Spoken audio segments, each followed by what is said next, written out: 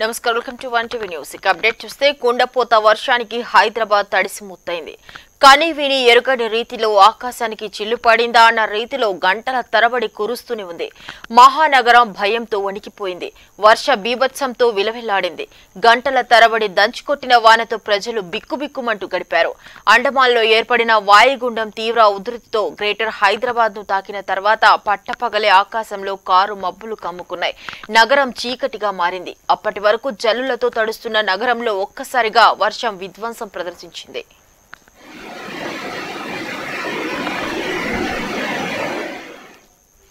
గత రెండు రోజులుగా కురిసిన వానలకు పాత రికార్డులన్నీ బ్రేక్ అయ్యాయి.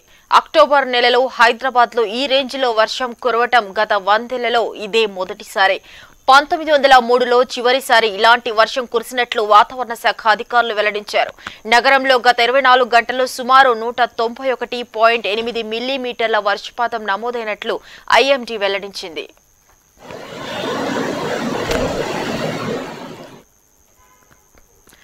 ప్రస్తుతం వాయుగుండం తెలంగాణ దాటి కర్ణాటకలోని గుల్బర్గా దిశగా వెళ్తుంది. డిప్రెషన్ వేగంగా మహారాష్ట్ర దిశకు పయనిస్తున్నట్లు ఐఎండీ అంచనా వేస్తుంది. రానున్న పన్నెండు గంటల్లో వాయుగుండం మరింత బలహీనపడే అవకాశాలు ఉన్నట్లు పేర్కొంది.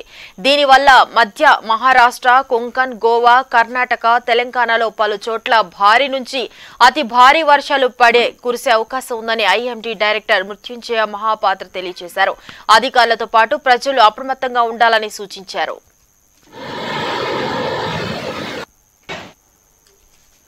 వాయుగుండం దెబ్బకు హైదరాబాద్ అతలాకుతలమైంది. సిటీలో ప్రతి గల్లీ చూసినా నీటి సంద్రంగా మారాయి.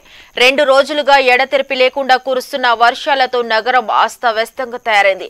వరద నీటితో నాలాలు పొంగి పొర్లుతున్నాయి. అంబర్పేట నుంచి దిల్సుఖ్ నగర్ వెళ్ళే మార్గంలో ఉన్న ముసారాంబాగ్ బ్రిడ్జి వద్ద వరద నీరు పొంగి ప్రవహిస్తున్నది. దీంతో ఆ రూటును పోలీసులు మూసివేశారు.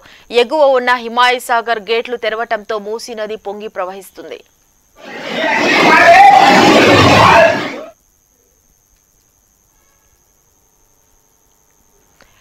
ఇక నాంపల్లి వద్ద భారీ వృక్షం నేలకూలింది. రాత్రి గాలివాన బీభత్సానికి ఆ వృక్షం రోడ్డుకు అడ్డంగా పడిపోయింది. ఆ చెట్టును తొలగించేందుకు ట్రాఫిక్ పోలీసులు ప్రయత్నిస్తున్నారు. దీంతో చాపెల్ రోడ్డు వైపు వెళ్ళే ప్రయాణికులను దారి మళ్ళించారు. బషీర్బాగ్లోని ఆయాకర్ భవన్ వద్ద కూడా ఓ భారీ వృక్షం పడిపోయింది. ఆ రూట్లో వెళ్ళే వారు కూడా ప్రత్యామ్నాయ మార్గంలో వెళ్ళాలని అధికారులు ఆదేశించారు. ఫలక్నుమా ఆర్యూబీ వద్ద భారీ వరద నీరు ప్రవహిస్తున్నది. నీటి ప్రవాహం తగ్గింత వరకు ప్రయాణికులు మరో మార్గంలో వెళ్ళాలని అధికారులు ఆదేశించారు. కొన్ని చోట్ల వాహనాలు బ్రేక్ డౌన్ కావడంతో వాటిని ప్రత్యేక వాహనాలు ట్రాఫిక్ పోలీసులు తరలిస్తున్నారు.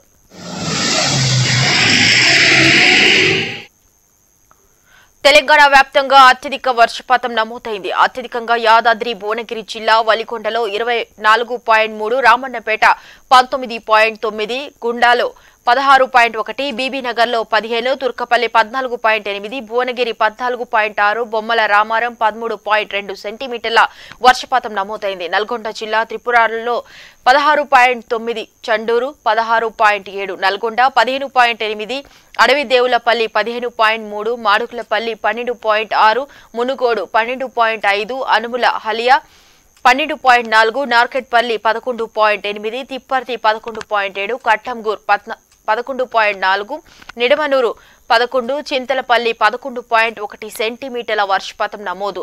అటు సిద్దిపేట జనకాం జిల్లాలో ములుగులో పదకొండు సెంటీమీటర్ల వర్షపాతం నమోదైంది.